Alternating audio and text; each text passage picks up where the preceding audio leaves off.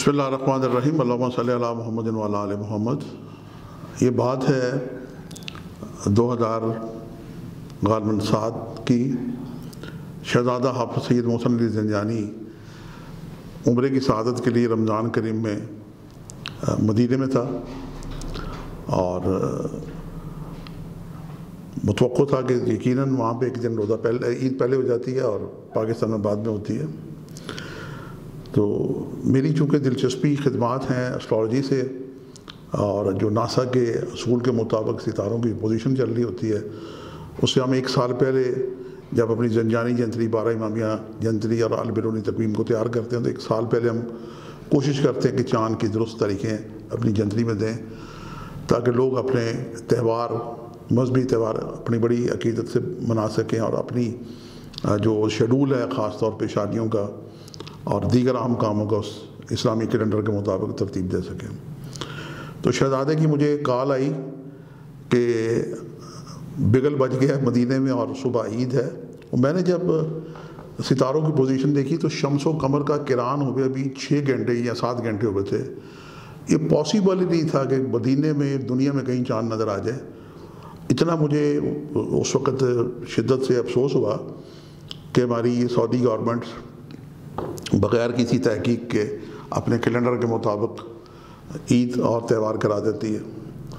مجھے افسوس اور دکھ کے ساتھ میں نے ایک آرٹیکل لکھا کہ سعودی عربیہ میں جو آج عید بنائی جا رہی ہے، یہ درست نہیں ہے، ایک روزہ یہ کھا گئے ہیں۔ شمس و کمر کے کران ہوئے ابھی سات آٹھ دس گھنٹے سے زیادہ ٹائم نہیں ہوا۔ تو، ممکن ہی نہیں ہے کہ چاند جب شمس و کمر کا کران ہو تو اس کے فوراً بعد نظر آئے جب تک وہ تقریباً گیارہ بارہ ڈگری آگے نہ چلا جائے۔ میں نے اس وقت جوش میں، جذبے میں اپنی جنجانی جنتری دو ہزار غالباً سات آٹھ میں میں نے دس سال کا ہجری کیلنڈر ترتیب دیا اور مخاطب کیا میں نے سعودی حکومت کو کہ یہ سعودی عربیہ میں جو عید بنائی گئی ہے، یہ غلط ہے اور اسی طریقے سے ممکن ہے یہ باقی تہوار بھی درست نہ کرواتے ہوں تو میری گزارش ہے کہ انہیں ایک مذہب کے ساتھ ساتھ سائنٹیفک طریقے سے بھی مدد لینی چاہیے۔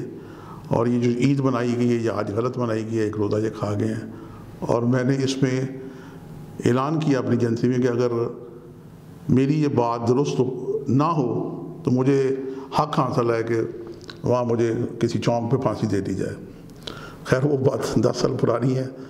اب دس سال کے بعد پاکستان میں بھی ہمارے مولانا مفتی منیب صاحب جو روحت علاج کمیٹی کے چیئرمین ہیں اور ہمارے سابق وزیر اطلاعات فواد چودھری صاحب کے مابین آج کل جو ایک جنگ چل رہی ہے یہ بھی اسی طریقے کی جنگ ہے۔ تو یقیناً مذہبی معاملت مذہبی لوگ کرتے ہیں۔ کسی کا نکاح پڑھانا ہو، کسی کا جنازہ پڑھانا ہو، دعا کرانی ہو، تو یہ خدمات ساری اللہ تعالیٰ نے علماء دین کو دے رکھی۔ جبکہ عام مسلمان بھی یہ اگر اس پہ دسترس کر لے تو وہ بھی خدمات انجام دے سکتا ہے۔ آپ نے کبھی غور کیا کہ جب سورج گرہن اور چاند گرہن لگتے ہیں، ابھی یہ جولائی میں لگنے والے ہیں، تین جولائی کو شمسی اور سترہ کو قمری گرہن ہوگا۔ جو ٹائم دیا ہوتا ہے اخبارات میں، رسالے میں، ٹی وی پہ کہ چاند گرہن اتنے بجے شروع ہوگا، اتنے بجے مکمل ہوگا اور اتنے بجے ختم ہوگا اور دنیا کے فلاں فلاں ممالک میں دیکھا جائے گا۔ تو یقیناً ایسا ہوتا ہے اور جب سورج گرہن لگتا ہے تو اس پہ بھی ایسا ہی ہوتا ہے کہ سورج گرہن لگنے کی تاریخ ٹائم اور مکمل ہونے کا ٹائم اور دنیا کے کس کس ملکوں میں نظر آئے گا۔ دیا ہوتا ہے اور آپ دیکھتے ہیں کہ بالکل بالکل درست ہوتا ہے۔ تو جب اتنی چھوٹی چھوٹی باریک باتیں قبل از وقت، کئی سالوں کی ہم پروڈکشن دے سکتے ہیں۔ ناسا سائنس دے سکتی ہے۔ اسٹرالوجر دے سکتے ہیں تو روچیہ لال کمیٹی کے وہ چاند بھی دے سکتے ہیں۔ اب ہر سال یہ ہوتا ہے کہ پاکستان میں دو دو تین تین یا دنیا میں دو دو تین تین عیدیں ہوتی ہیں۔ میں ایک بات عدیہ کرتا ہوں تمام ناظرین کو کہ ہماری شمسی تاریخ دنیا میں ایک ہے۔ پوری دنیا میں نیوزی لینڈ سے لے کے امریکہ اور کینیڈا کے آخری وینکوور تک ایک ہی کم شمسی تاریخ چل رہی ہوتی ہے۔ اور چاند کی تاریخیں جبکہ دو دو چل رہی ہوتی ہیں، تو اللہ تعالیٰ نے دنیا بنائی ہے جغرافی حدود اللہ تعالیٰ نے، ہم نے انسانوں نے بنا رکھی ہے اور جب ایک دن وقت آئے گا کہ وقت کے امام امام زبان حضرت محمد مہدی علیہ السلام کی حکومت پوری دنیا میں جب قائم ہوگی، تو اس وقت یقیناً دنیا میں عید بھی ایک ہوگی۔ چند سال پہلے امریکہ کینیڈا یورپ اور پاکستان پورے دنیا میں ایک دن عید بنائی گئی۔ آج چھ جولائی دو ہزار سولہ ایک عالمی لحاظ سے ایک بڑی اہم تاریخ ہے کہ آسٹریلیا سے لے کے امریکہ تک اور پاکستان میں ایک ہی دن عید الفطر بڑے جوش و احترام سے منائی گئی۔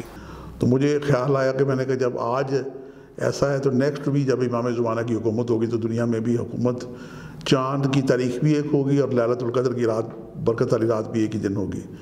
تو یہ چھوٹی چھوٹی باتیں، غور و فکر کرنے والی باتیں ہیں۔ یہ اختلافی باتیں نہیں بلکہ علمی باتیں ہیں اور علم ریسرچ کرنے سے، تحقیق کرنے سے پھیلتا بھی ہے، بڑھتا بھی ہے۔ آج کل جو رویت حلال کا یعنی علماء کرام کو تنقید کا نشانہ بنایا جا رہا ہے، یہ بنایا جانا چاہیے تھا کہ نہیں جانا چاہیے تھا، میں ایس بیس میں نہیں پڑھتا لیکن بات کو بالکل رسپیکٹیبل طریقے سے کی جانی چاہیے تھی۔ ناسا کی ریسرچ سے فائدہ اٹھا کے دنیا کی لانگیچیوڈ لیٹیچیوڈ پہ بڑی آسانی سے ہم دیکھ سکتے ہیں کہ چاند کب طلوع ہوتا ہے۔ اب تین جون کو تین بج کے ایک منٹ شام کو شمس و کمر کا کران ہوگا۔ نیو مون جنم لے گا اور چار کی شب کو یہ نظر آ جائے گا۔ اور پانچ جون کو ان شاء اللہ تعالیٰ پاکستان میں عید الفطر منائی جائے گی۔ تو روچہ لال کمیٹی کے ممبران اگر سائنس کو بھی شامل کر رہے ہیں تو وہ چاند کو بڑی آسانی سے فزیبلٹی کو دیکھ سکتے ہیں کہ چاند کب کب کس کس جگہ لانگیچوڈ جگہ پہ نظر آئے گا۔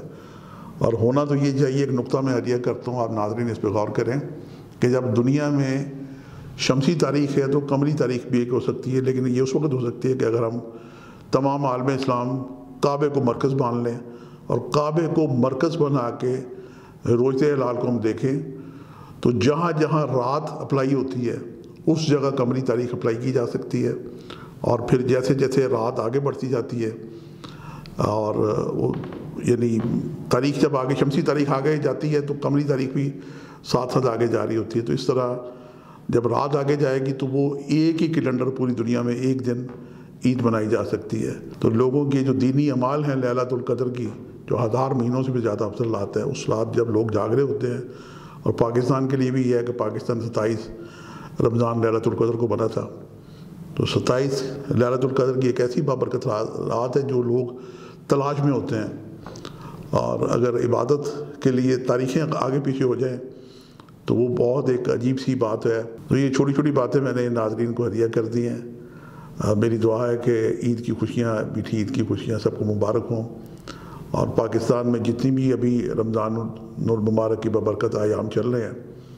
اس میں پاکستان کے لیے بھی جہاں اپنے لیے دعائیں کریں، وطن عزیز کے لیے دعائیں کرنا نہ بھولیں۔ اور وہ جو بہن بھائی ہمارے بیرون ملک رہتے ہیں، ان سے تو خصوصاً التماس ہے کہ پاکستان کو دعاؤں میں یاد رکھیں۔ پاکستان میں آج کل جتنی مشکلات سے پاکستان گزر رہا ہے، خاص طور پہ معاشی مشکلات سے یقیناً ہم مستقبل میں اچھی پروڈکشنز کر سکتے ہیں، لیکن دعا کے ساتھ دعا بھی بڑی ضروری ہے۔ تو پاکستان کی جو یوم آزادی چودہ اگست کو منائی جاتی ہے، اسے بھی ضرور بنائیں۔